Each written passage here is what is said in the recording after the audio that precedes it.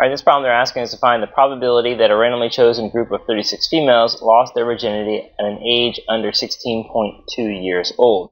So let's draw the bell curve here.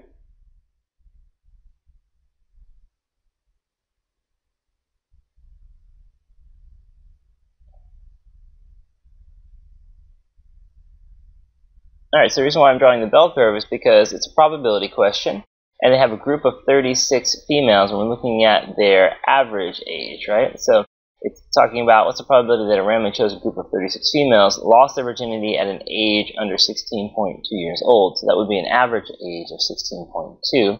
This is for a group of 36. Now, as long as n is over 30, we can assume that the distribution of x bar will be normal. So the mean for this problem, according to what we're looking for, which is females here, it says that for females or women, it was 17.3 years, the average age. So 17.3 would be here.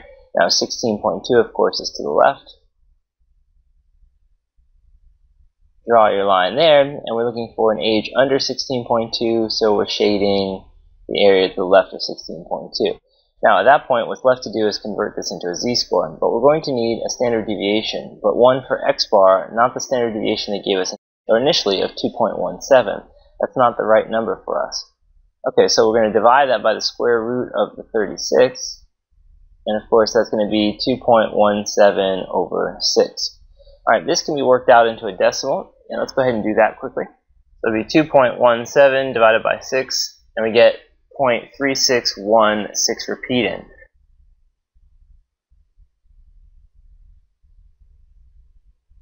So I've gone ahead and written down five decimal places. That's going to be enough to help us get the right answer when we do our conversion into our z-score. Okay, so let's go ahead and convert 16.2 into a z-score then. So we want to convert that number. We'll subtract off its mean then and we'll divide by this new standard deviation of 0.36167. Okay, so I'm going to do 16.2, and I'm just going to illustrate how you would do this all at once in your calculator. I know this arithmetic can be done in your head, some of it, but I'm going to do it this way just so you can see how this would be done. So 0.36167. Of course, in this graphing calculator, I could just pull this answer down here, so I didn't have to round at all. But since we wrote down five decimal places, let's just use those and I'm done, I get negative 3.04 for my z-score. So negative 3.04. Alright, so that's your z-score that's going to go down here. If I look it up, I'm going to get the area from here to here, which is not what I want, but it's going to be something that will help me get the area in the tail.